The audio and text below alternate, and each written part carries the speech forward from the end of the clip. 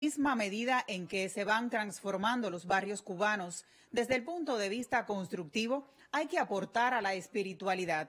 Es un concepto al cual ha convocado el presidente de la República, Miguel Díaz Canel Bermúdez, y con el que los artistas están comprometidos. Así lo expresaron en el encuentro mensual que se realiza en el Palacio de la Revolución para dar continuidad a los acuerdos del noveno Congreso de la UNIAC. En los últimos meses, aún en medio de la pandemia, se ha comenzado a revitalizar el trabajo cultural en las comunidades, pero aún tiene mucho camino por recorrer.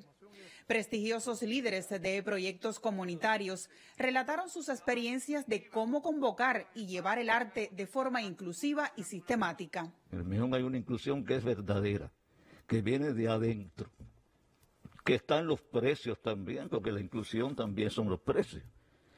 Un centro que cobre 100, 200 pesos por una entrada, no puede decir que es inclusivo.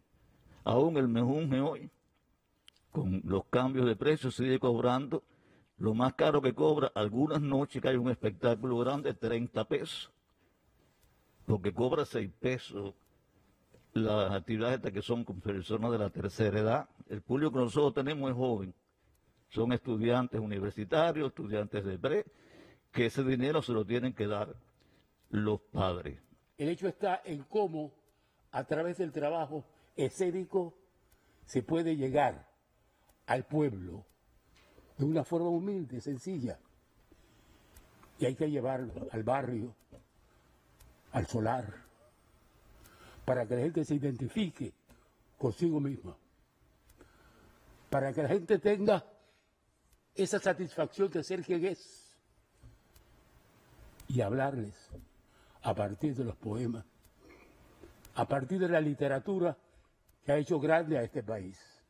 Enseñamos a los niños no, no a la práctica, a crear, a decir lo que llevan por dentro. Pintura, dibujo, grabado, cerámica, fotografía. Cuando ellos entienden de que un celular no es solamente para oír bobería y que pueden tirar fotografías y que pueden ser fotografías que pueden archivar y pueden después poner en sus casas, como ponen los dibujos, es el mayor orgullo. Porque yo digo, la casa Yeti dice que la edad no influye, que la creación no tiene edad y por eso tenemos gente desde los 5 años hasta 86. Vulnerabilidades hay en todos los barrios. Y lo que estamos haciendo ahora hay que llevarlo a todos los barrios del país. Y este ejército que usted tiene aquí de artistas, escritores, jóvenes artistas, puede contribuir mucho a eso.